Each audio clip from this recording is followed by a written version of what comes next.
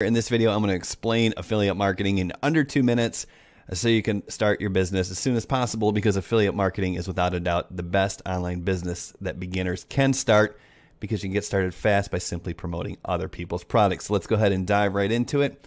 I put together a short presentation called Affiliate Marketing Anyone Can Do It.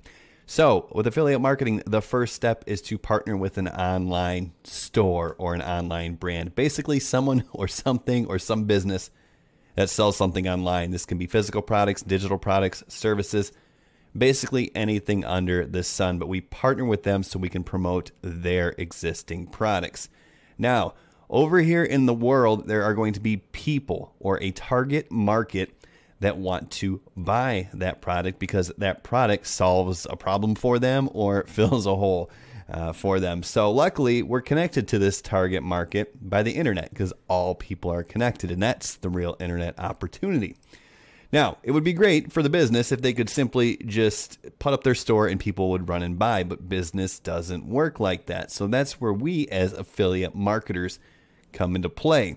We bridge the gap between the target market, which is the people who have a problem, and then the product, which solves the problem that these people have. Now, the way we do that is by building trust and rapport with the target market. And we do this by offering additional value.